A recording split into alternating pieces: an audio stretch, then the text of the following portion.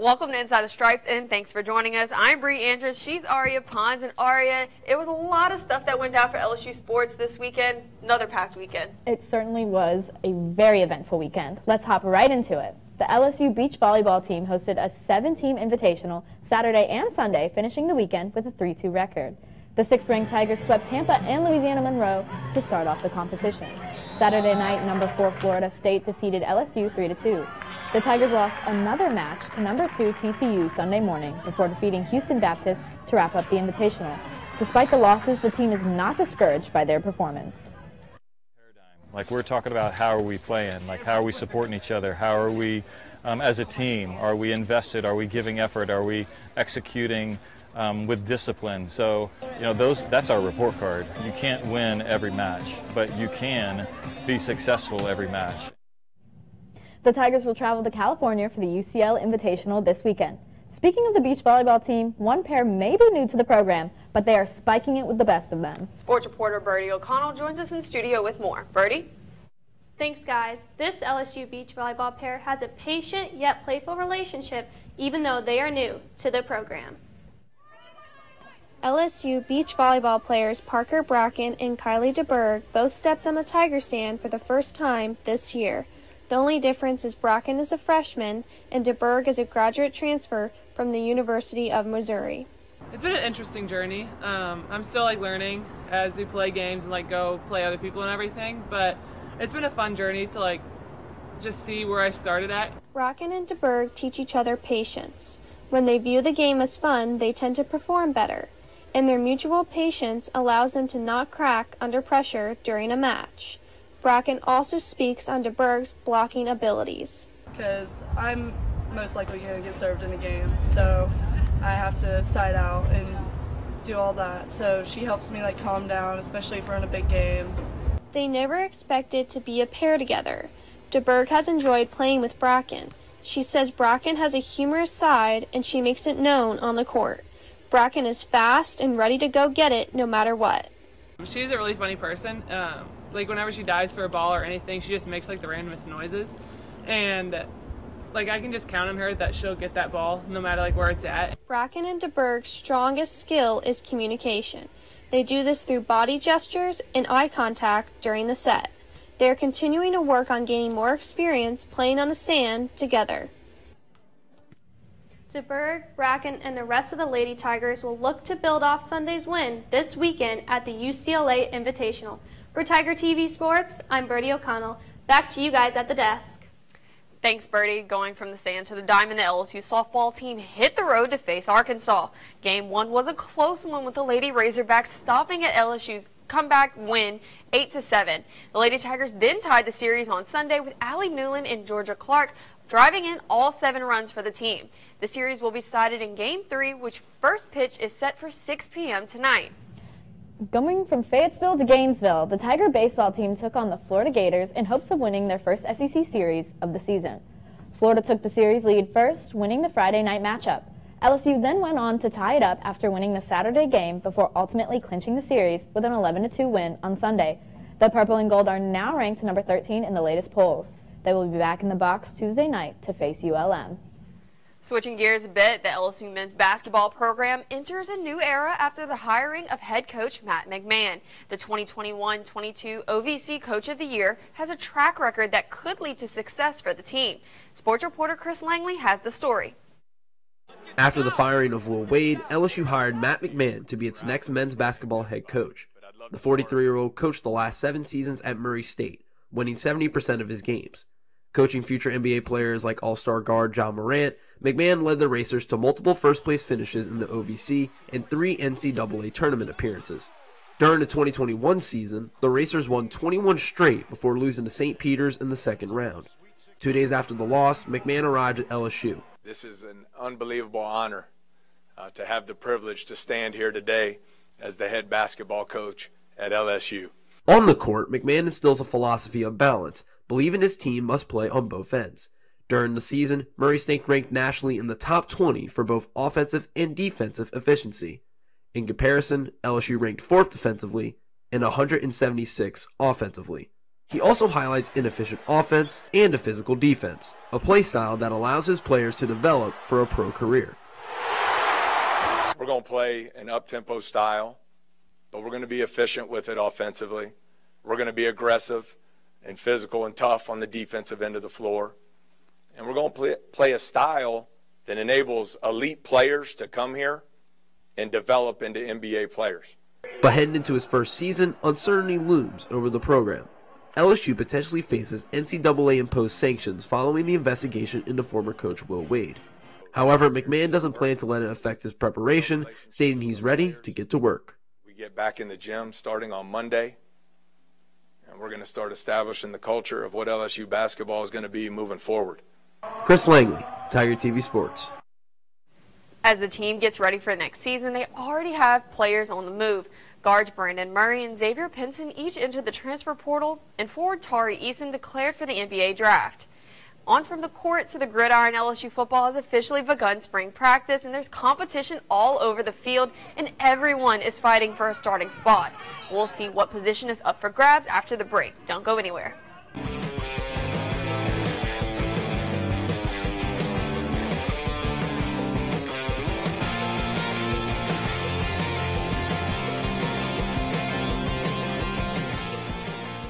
Good evening and welcome to the fifth quarter. I'm Bree Andrews and she's Aria Pons. And Aria, this week the Tigers headed to Ole Miss, and it wasn't the same Tiger team that we saw against Florida, but they did start off strong in the first drive, but we just didn't see that same energy going into the rest of the game. How did you see it? You were in Oxford in the student section. What did you see from the Tigers? Bree, the LSU fans were crazy as always. They were super pumped about the 7 0 lead, and after that, the football team just plummeted a bit. They did not have a fire, the fire within them lit on offense or defense, and we saw it. I think the biggest problem with this team is definitely consistency. We saw a very, very powerful team against Florida, and then the team was not as strong against Ole Miss. So I think that's the biggest thing they need to work on going forward. But following the Tigers' 321 yard performance against Florida, many LSU fans expected another strong rushing attack in Oxford. The Ole Miss defense, however, had other plans. Sports reporter Adam Gattuso has the story. Only seven days after one of the most dominant rushing performances in school history, LSU was unable to gain any momentum on the ground against Ole Miss. The Tigers' run game was stagnant in Oxford. The team finished the game with a total of 77 rushing yards. The lack of offensive production put LSU in a hole, leaving the team no choice but to abandon the run game. I think that we didn't have the success to big runs, and we just got behind on the change a little bit. We tried to throw the football, and plus we got behind. The first first quarter, we were just taking our time, wanted to keep the ball away from them. I thought we did a good job of that, but then we couldn't capitalize when we needed to. The ground attack against the Rebels was a stark contrast to the Tigers' 321-yard performance a week prior versus Florida. Running back Ty Davis Price led the team with just 53 yards against Ole Miss. The longest run of the night was a carry of only 12 yards by freshman running back Corey Kiner. The inability to run the football was a key factor in the outcome of the game. We ran the ball for 77, they ran for 266. I think that's the story of the game. The Tigers now sit at 4 and 4 on the season. LSU will have a week off to fix their mistakes before traveling to Tuscaloosa to face the Alabama Crimson Tide. For Tiger TV Sports, I'm Adam Gattuso. It was announced earlier today by Coach Orgeron that offensive lineman Anthony Bradford will miss the remainder of the season due to injury. This news is yet the latest obstacle the offense will have to overcome heading into the bye week. Saturday's matchup versus Ole Miss was not the only thing on fans' minds. Just last weekend, it was announced that the LSU football program and head coach Ed Orgeron would part ways following the 2021 football season. The news comes just two seasons after the Tigers won the national championship. The announcement was met with mixed reaction from LSU fans. While in Oxford on Saturday, traveling LSU fans shared their reactions to the news. Personally, I, I understand that our play these past two years is not up to par for what LSU thinks, so I, I get why I fired him. I personally like Coach O, though. I mean, I wish we would have kept him. I was expecting it to happen, but I was very disappointed. I don't want him to go. I don't want to see him go. I understand that the expectations at LSU are high. However, I think we could have given him more time.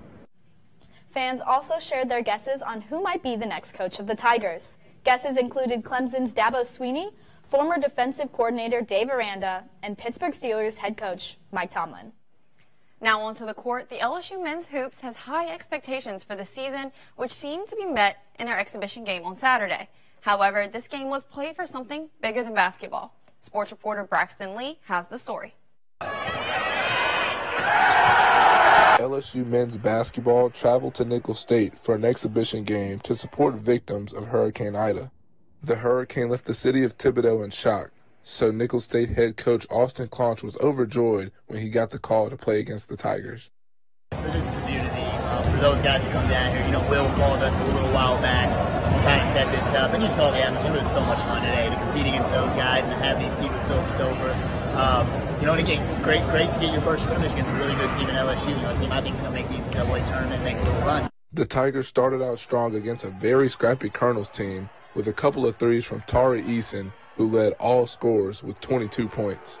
But Nicholls State came firing back with a trifecta of threes from Pierce Spencer and one from Ty Gordon, which put the Colonels up by four at the end of the first half.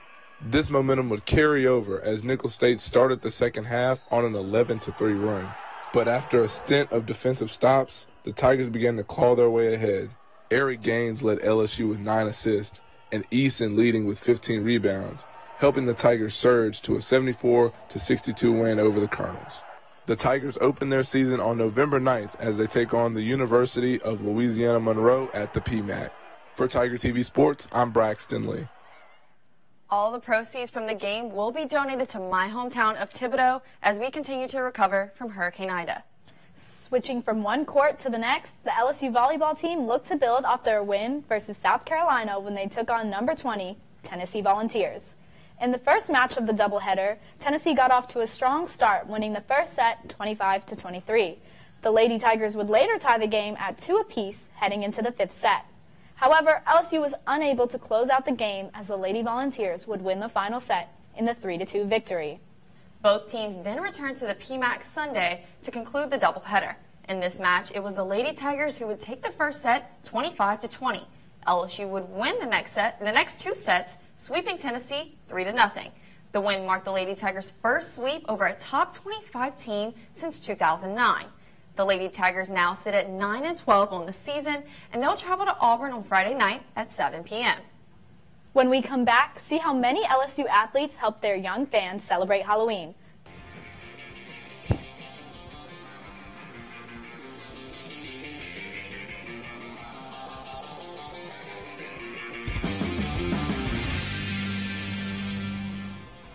Good evening and welcome to Inside the Stripes and thanks for joining us.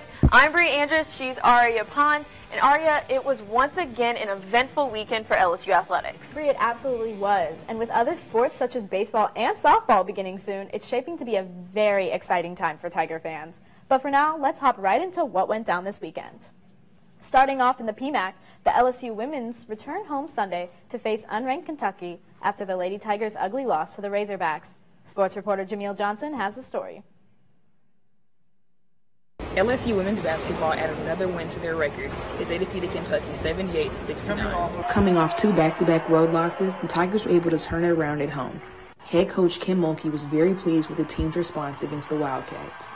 We went to Florida, we battled, we we come up short. We go to Arkansas, we battled, we didn't play you give credit to Arkansas. Let's go back home and just keep doing what you've been doing. Just keep doing what you've been doing and just be a little bit tougher. Guard Khayla Pointer had a high of 28 points, followed by Alexis Morris with 20.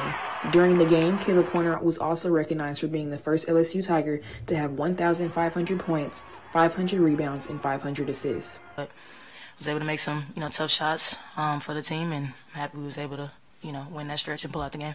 The Tigers were able to capitalize off crashing the boards and getting some second chance opportunities. Guard Jailin Cherry also had three steals and 11 points, adding to the Tigers' success. With this win against Kentucky, the Tigers now have 18 wins this season, which is double what they had last season. The last time the Lady Tigers won this many games was the 2019-2020 season. Trying to win ball games because we want to do something that hasn't been done here in a few years. LSU will travel to Oxford to take on Ole Miss February 7th. For Tiger TV Sports, I'm Janelle Johnson. With the win, the Lady Tigers now have twice as many victories compared to last season. However, they fell three spots to number 15 in the AP rankings, which were released earlier today. Going from the PMAC to Alex Box Stadium, the LSU baseball team held its first practice as the season opener looms in the near future. Sports reporter Kaylee Rome is at Alex Box Stadium with more. Kaylee? Thanks, guys. With off-season coming to a close and baseball season coming in full swing, the Tigers are looking to be what might be a very successful season. Baseball is coming into full swing this spring, beginning with open practice. With the large and versatile roster, Coach Jay Johnson plans to use anyone who is ready. And then it's inevitable over a you know 56 to 70 game college baseball season, you're going to find the right combination uh, the longer that you go. And when you have a team like ours with some depth, um, you know, it may not look the same, you know, in game 10 as game one, and that's okay.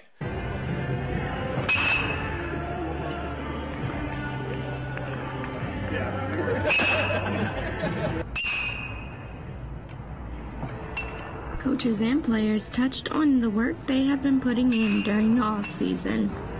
Second that I went home, I took uh, took a picture of the mirror, my shirt off, and then uh, I told myself, I said I'm not gonna look the same whenever I go back, and I did. And uh, yeah, no, I I'm down almost 40 pounds. I went from 272 to 235. With opening weekend right around the corner, the Tigers feel ready to do what's needed to get to Omaha. For Tiger TV Sports, I'm Kaylee Rome. The Tigers will open up their season right here in Alex Box on February 18th against the Maine Black Bears. For Tiger TV Sports, I'm Kaylee Rome. Back to you guys at the desk. Thanks, Kaylee. Returning to the basketball court, the men's team traveled to Fort Worth, Texas over the weekend to face TCU in the SEC Big 12 Challenge. TCU outshot LSU, shooting 49.1% to their 36.9, even with the return of Xavier Pinson and Darius Days. With the Tigers falling short to the Horned Frogs 77 to 68, Coach Wade believes the team will have to play smarter in their next game if they want to win. Um, so we're going to have to be on point against uh, against a variety of different different defensive looks. Be a uh, be another challenge for us here in SEC play. The Tigers dropped to number 25 in the AP poll, and they will return to the PMAC tomorrow to face SEC rival Ole Miss. After the break, learn how the Tiger Girls' return to the national stage started a viral trend. Don't go anywhere. We'll be right back. Coming up, the LSU gymnastics team bounced around, quite literally in fact. Hear about their eventful weekend after the break. After the break, find out how the offense is preparing for tonight's game after a successful yet out of sync performance against McNeese State. Stay tuned. The Tiger TV Game Day Show will be right back. Back on the subject of baseball, fans at the box Friday night got to watch as the program was thrown into the Jay Johnson era. See how when we return. Stay tuned. While the football teams continue to prepare for next season, another LSU team is preparing for its next postseason matchup. See which team is hoping to make it rather than break it in the NCAA regionals after the break. Stay tuned. Tonight on Inside the Stripes, the LSU beach volleyball team return home to face five opponents in the Beach Invitational. Plus, a new coach is in town. Hear what new men's basketball coach Matt McMahon plans to bring to the program. And later, spring football is here. See which position battle will have Tiger fans watching. All that and more Inside the Stripes starts right now. Stripes March Madness is here. Hear how both teams on men's and women's performed in the opening round of the NCAA tournament. Plus, the LSU baseball team has officially swung into SEC play for the season as they hosted Texas A&M for a weekend series at the box. And later, the gymnastics team vaulted into the postseason to compete in the SEC championships. All that and more inside the stripes starts right now.